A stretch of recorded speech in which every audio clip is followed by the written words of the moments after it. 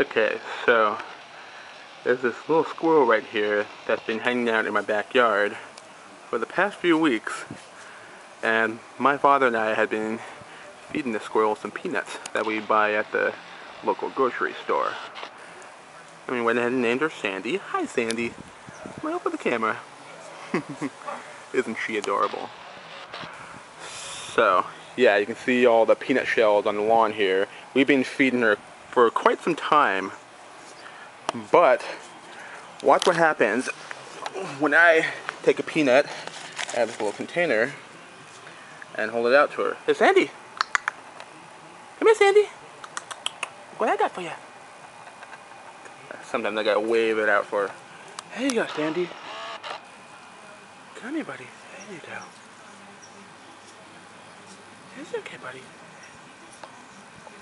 Go on. Come on, Sandy. There you go. Yep, she took it right out of my hand. And that's the fourth time today that that has happened. Yep, that happened four times today.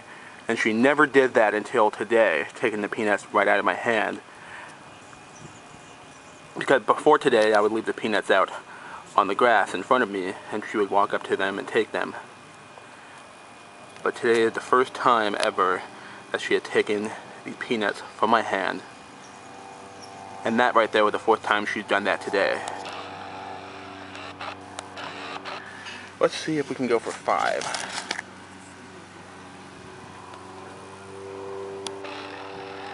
She's still eating over there.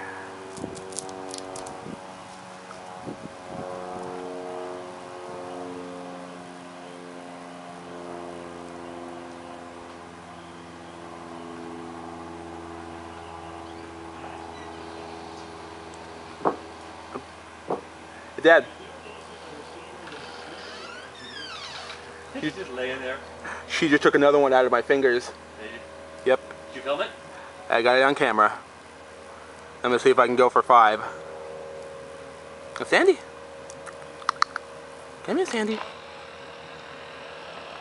Come here, Sandy.